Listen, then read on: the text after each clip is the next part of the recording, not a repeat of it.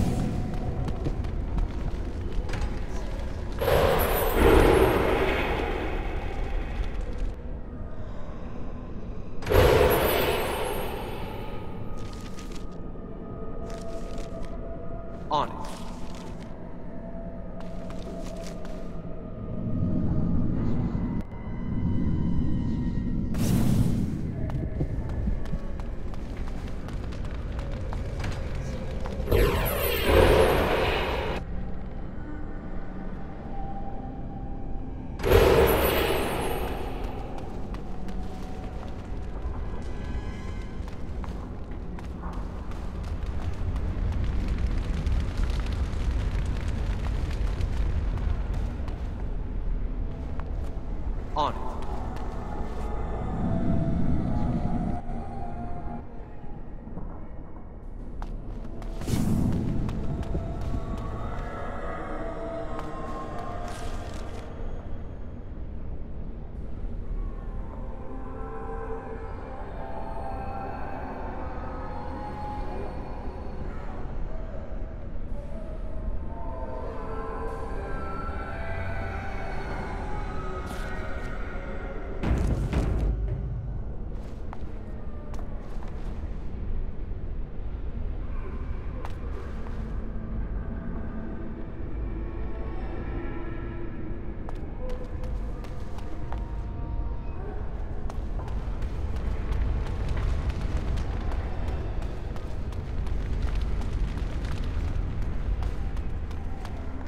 Let's get started.